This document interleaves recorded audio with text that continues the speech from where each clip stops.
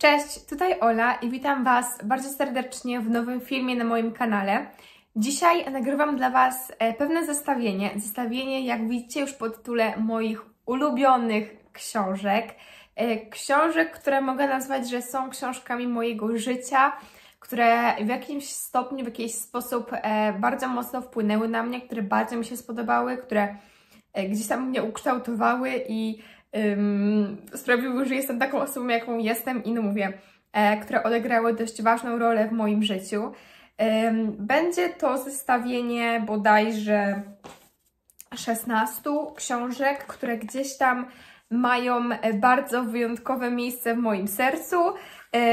A więc tak, wydaje mi się, że też ten film dla moich stałych odbiorców, dla moich stałych widzów nie będzie jakimś dużym zaskoczeniem. E, w każdym razie mam nadzieję, że e, spodoba Wam się taki format i dla nowych osób mm, będą one nie mogły już od samego początku lepiej poznać. A więc tak, przechodząc już do konkretów i nie rozwodząc się za bardzo, a więc pierwszą książką, jaką chciałam tutaj przede wszystkim uhonorować, będzie oczywiście Złodziejka książek. E, była to książka, która zrobiła na mnie piorunujące wrażenie. To, jak wrażliwa ona dla mnie była i e, to, jakie emocje we mnie wywołała, jest mm, zupełnie nie do opisania. To była jedna z pierwszych książek literatury pięknej, e, jakie miałam okazję przeczytać, ale także jest to książka literatury wojennej. Przez to mm, jej ładunek taki emocjonalny jest, no mówię, drastyczny i, i bardzo, bardzo duży. Tak, w dużym, dużym skrócie, jeśli chodzi o fabułę, to e, mamy tutaj mm, młodą dziewczynę, małą dziewczynkę Lisel, która traf, jest sierotą i trafia do rodziny zastępczej. To wszystko dzieje się w czasie II wojny światowej w Niemczech, a narratorem tej historii jest śmierć, e, taka bardzo sarkastyczna śmierć i Mm, to wszystko jest podane, no mówię, jest to bardzo, bardzo taka wrażliwa, dojmująca, sentymentalna e, historia. E, no a ta, ta narratorka śmierć tutaj jest taka troszkę humorystyczna i e, to się tak trochę równoważy. Mm, bardzo, fantast no, bardzo fantastyczna, no mówię, jest to książka mojego życia, po prostu. Także ja ją Wam bardzo, bardzo polecam. I zresztą tak samo jak poleciłam na przykład mojej przyjaciółce Mai, to również stała się to jedna z jej, również ta książka teraz obecnie jest jedną z jej topek, jeśli chodzi, to, topek? Jest w jej topce życiowej, a więc y, no naprawdę coś bardzo, bardzo wyjątkowego w niej jest. Następnie kolejna książka, która y, od razu przychodzi mi na myśl, to bez wątpienia e, twórczość pani Diany, Diany i tutaj mam na myśli, chciałabym wyróżnić jej e, dwie książki przede wszystkim, czyli e, tak, Była sobie rzeka. Jest to również, była to również jedna z pierwszych książek, które ja czytałam z literatury pięknej i które bardzo, bardzo wpłynęły na mój gust czytelniczy, które um, ukształtowały mnie jako czytelnika pod kątem właśnie tego, że ja zrozumiałam, że literatura piękna to jest coś, co bardzo, bardzo do mnie trafia i coś, po co ja bym chciała sięgać jak najczęściej. Um, ta historia jest również taką dosyć bajkową, bym powiedziała, taką może nie bajkową, ale baśniową e, opowieścią, e, snutą, bym tak, miałam takie wrażenie trochę jak na przykład przy ognisku, e, wiecie o co chodzi, z takim klimatem klimat tej książki jest absolutnie nie, nie, nie, nie, do, nie, nie, nie do podrobienia. W dużym skrócie mamy tutaj historię, która dzieje się w ogóle w jakimś tam wieku XVIII-XIX, pewnej społeczności, małej społeczności, ponieważ, do, e, ponieważ w rzece zostaje znaleziona e, pewna dziewczynka, no i trzy tak naprawdę można powiedzieć rodziny zaczynają spierać się o to, czyją córką e, ona jest. Ta historia jest naprawdę bardzo urzekająca, mówię, taka baśniowa, język tutaj absolutnie skradł moje serce i mm, no uwielbiam tą historię. E, drugą książką tej autorki, która również zrobiła na mnie ogromne wrażenie i którą naprawdę ubóstwiam, uwielbiam, to trzynasta opowieść. E, ja bym powiedziała, że jest to takie trochę połączenie literatury pięknej, ale i literatury grozy, trochę takiego kryminału.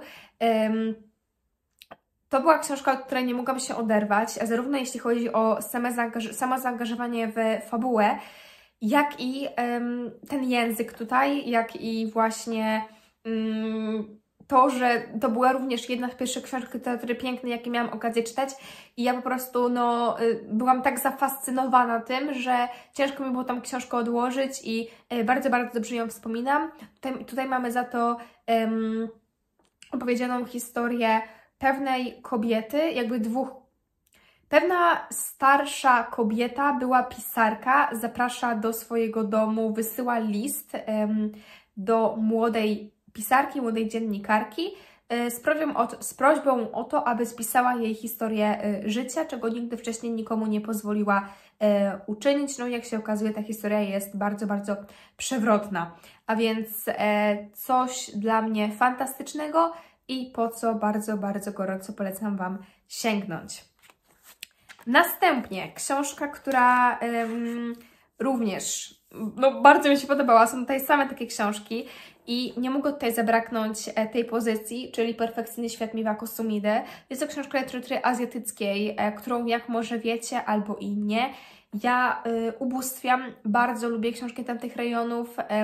Niezwykle lubię fakt tego, że autorzy w tak krótkiej formie potrafią wyrazić tak duży ogrom, przekazać tak, taki ogrom po prostu E, ładunku emocjonalnego i w tak niewielkiej ilości słów zawartej jest tak dużo treści, takiego mięsa. Ta książka zaś e, jest taka dosyć mocno też depresyjna. E, opowiada o historii dziewczyny, która postanawia targnąć się na swoje życie, mimo tego, że z pozoru wszystko wydaje się, że w jej życiu jest idealne, perfekcyjne.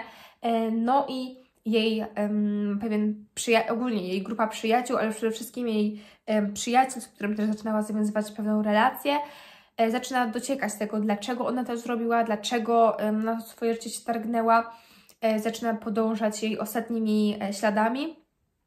Prze e, piękna historia, naładowana bardzo, bardzo dużą wrażliwością, takim sentymentalizmem, no i w tym wszystkim mamy, tą mamy w tym wszystkim jeszcze ten kontekst kulturowy, e, tego jak właśnie w Japonii i w tych azjatyckich krajach e, ludzie podchodzą do siebie, do relacji. Kupiła mnie ta książka bardzo i e, bardzo często do niej wracam myślami, także niezwykle Wam ją po prostu rekomenduję. Zresztą jak każdą z tych książek, już nie będę tak więcej powtarzać, bo to bez sensu, jak każdą z tych książek absolutnie uwielbiam. E, następnie może przechodząc do troszeczkę innej kategorii, e, książka, która rozpoczęła moją przygodę z czytelnictwem, książka, którą, do której często wracam myślami ze względu na to, że właśnie jestem jej wdzięczna za to, że wiecie, sprawiła, że czytam.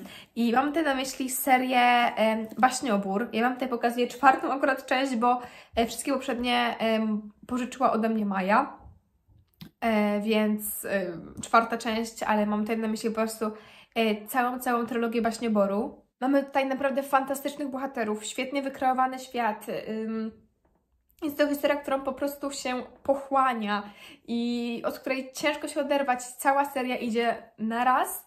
E, zdecydowanie, mimo tego, że te tomy są trochę potężne, to mimo wszystko, mówię, wchodzi jak złoto.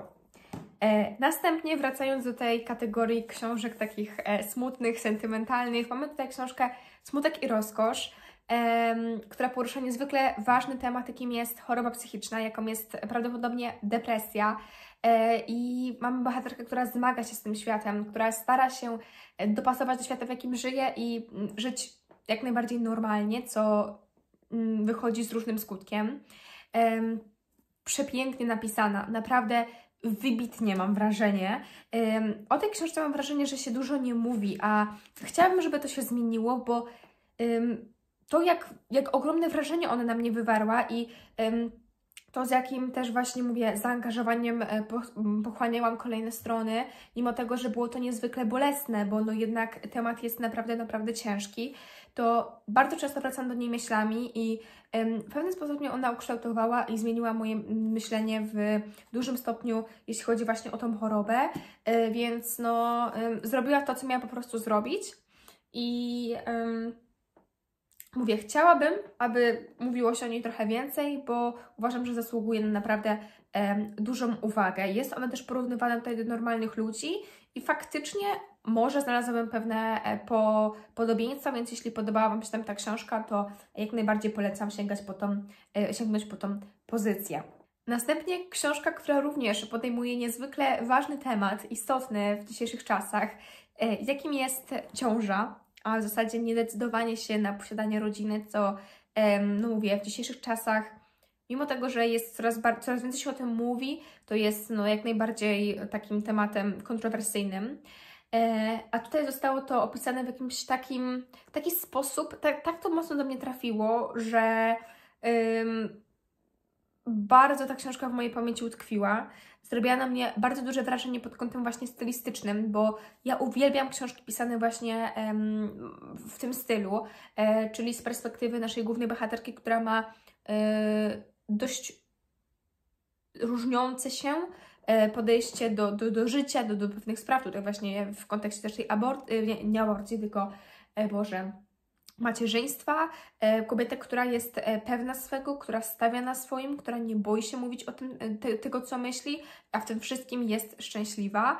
Um, bardzo podobała mi się właśnie ta bohaterka wykreowana i jakoś tak mocno się z nią zżyłam. Um, I z tego względu ta książka y, bardzo do mnie trafiła i naprawdę często wracam do niej myślami. I no mówię, nie dość, że ważny temat, to napisane w taki bardzo trafiający um, sposób. A więc ja nie wiem, czy nie zrobię sobie nawet jej rereadu, bo jakoś tak, mimo tego, że ten temat był ciężki, to przyjemnie mi się przez nią płynęło i bardzo też mi się podoba to, w jaki sposób ona jest wydana.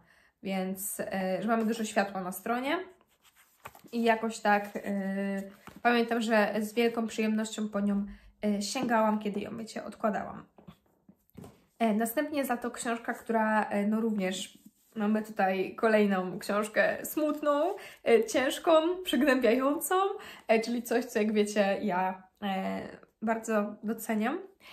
Jak już mogliście zauważyć, Szklany klosz i bez dwóch zdań to, z jakim kunsztem napisana jest ta historia, to z, jakim, jaką precyzją, jaka ona jest poetycka, bo no Sylwia Plath, jeśli ktoś nie wie, e, jest ta autorka, była ta autorka, która była poetką w ogóle, e, a więc te książki są no, przesiąknięte niezwykłą ilością właśnie takich e, no, pięknych zdań, ale i nasycone niezwykle dużą ilością bólu, są bardzo takie wrażliwe, bardzo mm, trafiające do mm, naj, najgłębiej jak się tylko da. I e, Szklany Klosz to e, historia, która opowiada z perspektywy właśnie tej głównej bohaterki jej historię zatracania się w chorobie psychicznej, zatracania się w obłęd, z momentu, kiedy była ona w takim, można by powiedzieć, idealnym miejscu, jeśli chodzi o rozwój swojej kariery pisarskiej, ale ogólnie młoda kobieta, która e, no, osiąga bardzo duży sukces, a w tym wszystkim jednak zaczyna czuć się nieszczęśliwie, za, za, nieszczęśliwa, zaczyna zatracać się coraz bardziej właśnie w tym obłędzie. no, to jest coś, co ja chcę czytać. To są książki, po które ja chcę sięgać. To są książki, które wywołują u mnie bardzo skrajne często emocje, e, często takie bardzo duże też zagubienie w sobie, e, które wywołują wręcz łzy. Ja, ja rzadko płaczę na książkach, ale które no, sprawiają, że niewiele mi brakuje e, do tego, aby się rozpłakać i Szklany Klosz jest właśnie jedną z tego typu książek. Jest to na pewno jedna z y, takich po prostu no naj, naj, naj, naj, naj. Y, ona tutaj powinna może znaleźć na początku, ale y, naprawdę ona u mnie jest bardzo wyjątkowa. Więc tak. Tak, dokładnie tak. Znam po prostu film o takich książkach, ale ta książka jest bardzo, bardzo wyjątkowa. Następnie e, Wyspa Zaginionych Drzew, czyli pani Elif Szafak, e, autorka, której, którą ja absolutnie pokochałam. Przeczytałam na razie jej trzy książki jak na razie Yy, wszystkie z nich bardzo trafiły w mój czytelniczy gust. Uwielbiam to, że te książki są przepełnione takim ciepłem, yy, ciepłem, taką rodzinnością, yy, rodzinnością, taką no, tym, że rodzina w tych książkach odgrywa takim ciepłem rodzinnym, o, ciepłem rodzinnym, taki, takie domowe ognisko i w tym wszystkim często te historie zazwyczaj, jak na razie przynajmniej wszystkie, dzieją się w e, krajach w Turcji, w Stambule, na Cyprze, e, w Turcji, w Stambule, więc w, tu, w Turcji, w Turcji.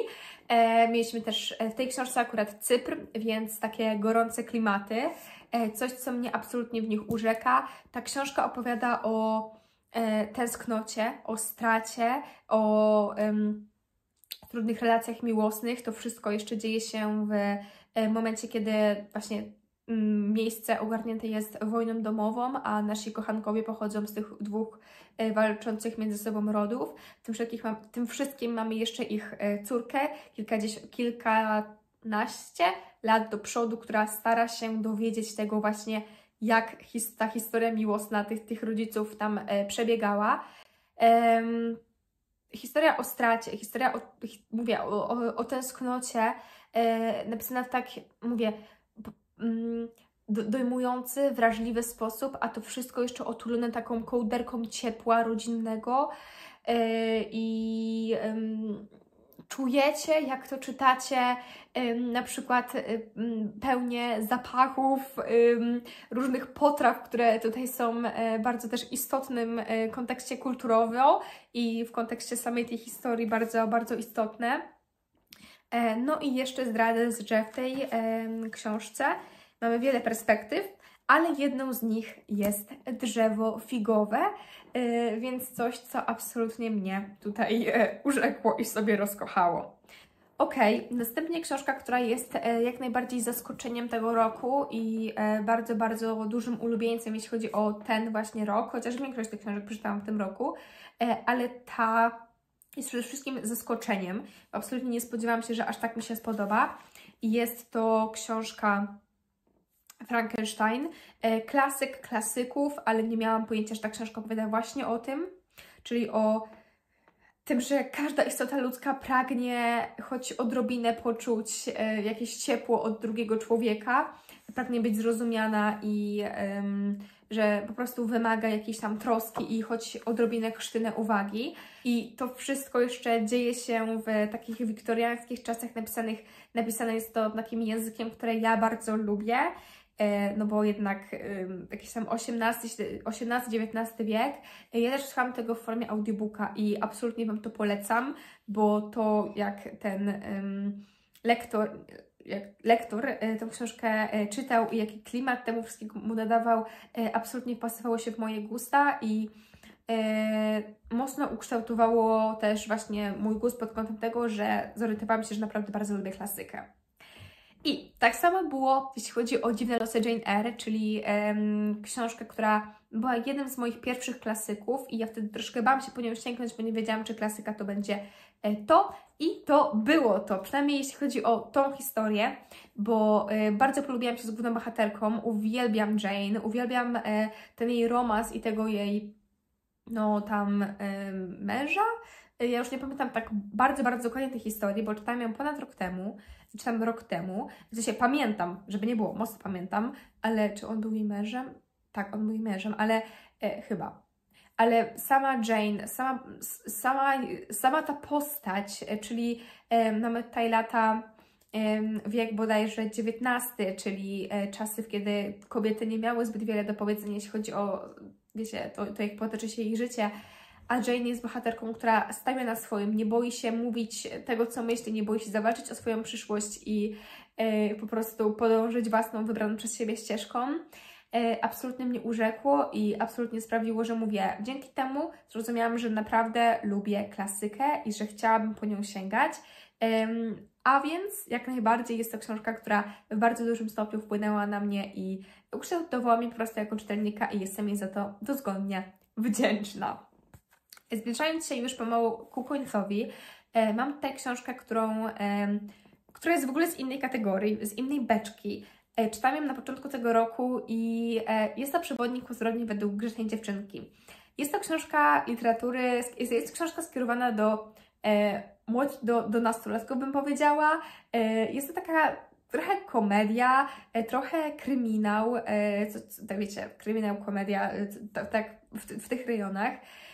No i mm, książka Young Adult ale to, jak ta historia mnie pochłonęła, jak byłam i byłam i jestem z nią zżyta, ja tej książki nie mogłam odłożyć. Ja nigdy nie mam tak, że e, wiecie, siedzę po nocach, żeby dokończyć jakąś książkę, a to była jedyna historia, z którą tak miałam, bo po prostu byłam tak w nią, tak, tak mocno w nią wciągnięta. E, w dużym skrócie mamy tutaj e, główną bohaterkę Pip, która na takie dodatkowe zaliczenie w szkole postanawia rozwikłać historię zaginięcia, morderstwa, E, nie wiadomo w zasadzie dokładnie o co chodzi, które miało miejsce w jej miasteczku 5 lat temu. I ona tak mocno wciela się w rolę detektywa, e, tak wiele staj na jej drodze, w takich wielkich niebezpieczeństwach e, się ona też znajduje, tak wiele mamy tutaj też zwrotów akcji.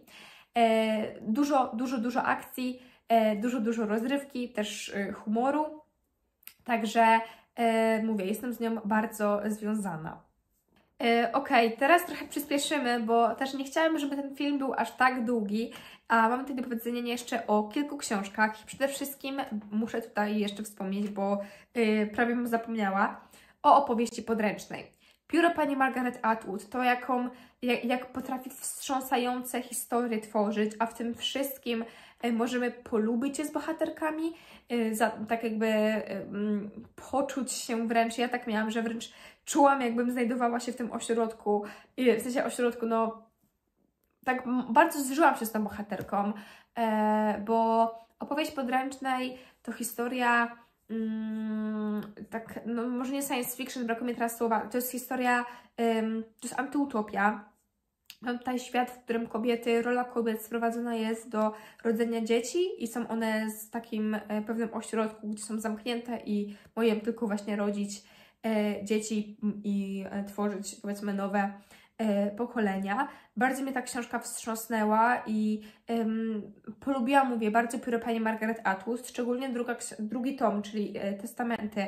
Um, chyba nawet bardziej mi się podobał, bo mieliśmy w nim więcej akcji i też historia wyszła poza ramy, poza same mury może tego ośrodka. I E, bardzo mi się podobała, e, zrobiła na mnie mega duże wrażenie, a nie, nie spodziewałam się, że aż tak mi się spodoba, więc też fajnie, że właśnie mieliśmy takie miałam takie zaskoczenie, no i to wiecie, dodaje mi jeszcze, e, mm, ta książka wchodzi na wyższy level, kiedy była zaskoczeniem, wiecie o co chodzi, jak w przypadku na przykład Frankensteina. Następnie chciałabym tutaj wyróżnić dwie książki, jeśli chodzi o literaturę skandynawską, którą ja absolutnie ubóstwiam, które bardzo pasowują się w mój gust czytelniczy i e, były to też, nie, to nie były jedne z pierwszych. Oprzyj swoją, też nie, oprzyj swoją samotność o moją e, była. I e, ja bardzo lubię, kiedy mamy w książkach kreowanych bohaterów, którzy są mocno dziwni, mocno wręcz niedopasowani do świata, w którym żyją, którzy e, się też często na przykład jakoś tak wywyższają i których często ciężko polubić. E, I tak mamy właśnie w tej książce, taka jest właśnie główna bohaterka. I w sumie główny bohater trochę też. E, pomiędzy nimi zawiązuje się romans. E, ten główny bohater, on jest w związku małżeńskim. Główna bohaterka jest tutaj za to jego studentką. A w tym wszystkim mamy przewspaniały aspekt matematyki, bardzo mocno rozszerzonej matematyki, której ja często nie rozumiałam, ale w tym wszystkim e, była ona dla mnie bardzo fajną wartością dodaną i bardzo przyjemnie mi się mimo wszystko słuchało o tej matematyce, a sama ich relacja często mnie irytowała i nie potrafiłam zrozumieć e, ich decyzji, ale mimo wszystko jakoś tak bardzo mnie urzekła i sprawiła, że e, po prostu zakochałam się w niej. I tak, tyle w temacie. A jeśli chodzi o kolejną książkę, czyli trylogię kopenhaską, e, jest to za to autobiografia. Autobiografia pani Tove Ditlevsen, która e, absolutnie zmiotła mnie z planszy, która e, była dla mnie tak dużym ładunkiem emocjonalnym, że no ciężko mi jest to po prostu opisać. Absolutnie fantastyczna wrażliwość, która tak trafiła bardzo w moje gusta, w mój czuły punkt. Um, najbardziej w tej książce doceniam, jakoś tak podobał mi się i utkwił mi w pamięci aspekt, moment tego, jak no, autorka wchodziła w dorosłość i rozpoczynała tym samym swoją karierę pisarską, rozpoczynała też związek, powiedzmy, małżeński, zaczynała być swoje macierzyństwo, a w tym wszystkim była uzależniona. Bardzo, bardzo mnie, mnie ta książka po prostu poruszył, poruszyła, przepraszam i no tak, po prostu tyle mam na jej temat do powiedzenia. Sięgajcie, sięgajcie, sięgajcie. E, I już ostatnia książka, jaką tutaj chciałam wyróżnić, e, w zupełnie innym klimacie. E, w klimacie, bo jest to książka skierowana do, mm, bym powiedziała, dzieci. Dzieci, może nie dzieci, ale nastolatków. Mam tutaj na myśli Silver, czyli trylogię snów. Bardzo ta książka utkwiła w mojej pamięci ze względu na swój koncept też i humor przede wszystkim, bo uwielbiam humor pani Kerstinger. On jakoś y, jest, uważam, nie do podrobienia i ja się na nim po prostu świetnie bawię. Tak samo było, jeśli chodzi o trylogię e, Czasu, e, po, Hotel Podniebny nieco mniej mi się podobał, ale również po prostu ten humor w tych historiach i mówię, tutaj wykreowany świat i wykreowany w ogóle koncept, czyli tego, że nasi bohaterowie mogą spotykać się w swoich snach i jakby razem śnić i tam, wiecie, jakby no, spędzać ze sobą powiedzmy czas, e, a w tym wszystkim czyha na nich wiele niebezpieczeństw i istnieją oni różne też, no, czyha na nich przede wszystkim wiele niebezpieczeństw, może tak. E, fantastyczna książka, która mówię, e, bardzo mnie urzekła i mam ją cały czas w pamięci i chciałabym, żeby powstało więcej trylogii albo jakichś książek pod tej autorki. E, niezwykle bym z chęcią po nie sięgnęła, także tak. E, a więc tak, to by było na tyle w tym filmie. Mam nadzieję, że Wam się on podobał. Wyszedł trochę długi, ale trochę się, wiecie, rozgadałam. Zresztą to są książki, których uważam, że warto mówić, więc e, mam nadzieję, że zachęciłam Was tym samym do sięgnięcia po którąś z książek, które Wam tutaj pokazałam, bo e, ja po prostu rekomenduję je wszystkie i tyle w temacie. E, napiszcie mi koniecznie, jakie są Wasze ulubione książki, e, książki, które zmieniły gdzieś e, Was, które ukształtowały was, Wasz gust czytelniczy. Jestem tego niezwykle ciekawa. A więc tak, mam nadzieję, że ten film Wam się podobał, że dotrwaliście do końca. Dziękuję Wam bardzo serdecznie za oglądanie i do zobaczenia w kolejnym filmie. Pa, pa!